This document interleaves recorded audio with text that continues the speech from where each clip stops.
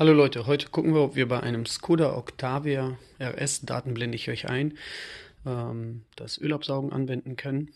Also jetzt habe ich ungefähr mit der Pumpe 6 Liter abgesaugt. Ich werde gleich nochmal ein bisschen probieren, ob da noch was rauskommt. Danach hebe ich das Fahrzeug an und dann schauen wir, was da noch rauskommt. Ja, das ist das Ergebnis. Ähm, meiner Meinung nach lohnt es sich, bei dem Fahrzeug abzusaugen. Äh, so, ich habe jetzt eine neue äh, Scheibe, also hier für die Ölablassschraube reingetan und mit 25 Newtonmeter angezogen. Die Unterbodenverkleidung, das Riesenteil, wird gehalten mit den Schrauben, zwei von denen hier und drei von denen hier, die mit Loctite auch noch angezogen werden.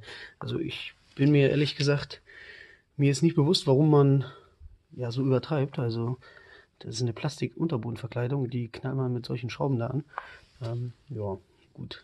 Äh, ich bin jetzt auch nicht so VAG bewandert. Vielleicht weiß es ja einer. Ähm, dann könnt ihr mir in die Kommentare schreiben. Also meiner Meinung nach lohnt sich das Absaugen, denn wir haben jetzt hier irgendwas äh, bis hierhin, das sind circa 6 Liter oder ein bisschen mehr. Und das, was da rauskam, äh, ist das hier, so ein Schluck Glas. Vielleicht jede zweite oder dritte äh, Ölwechsel ablassen und ansonsten absaugen, weil es einfach bequemer ist.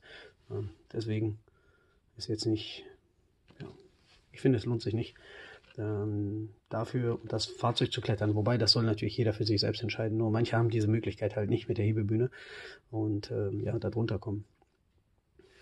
Ölfilter habe ich jetzt einen von Male genommen. Das ist der hier 100, nee, oder? 1217D. Äh, da ist auch ein, ähm, eine Dichtung mit bei. Allerdings ist da nicht die Unterlegscheibe für die Ölablassschraube mit bei. Das heißt, wenn ihr das Öl ablassen wollt, denkt dran, die Unterlegscheibe zu besorgen. Ich hatte jetzt zufällig eine da. Öl habe ich jetzt von dem Zeug hier reingetan. Also hier 4 Liter und einmal 1 Liter. Ich habe ehrlich gedacht, dass das 5 Liter sind, aber ist mir jetzt auch gerade erst aufgefallen, dass das 4 Liter sind. Also mit 5 Liter Öl habe ich jetzt den Stand auf Mitte, äh, etwas über der Mitte. Der Motor wurde aber noch nicht angelassen, also der Filter ist noch nicht voll. Prüfe ich gleich, ob das reicht. Ansonsten braucht ihr eventuell sogar ja, 5,5 oder 6, irgendwie sowas. Ja, ich hoffe, das Video konnte dem einen oder anderen helfen. Viel Spaß.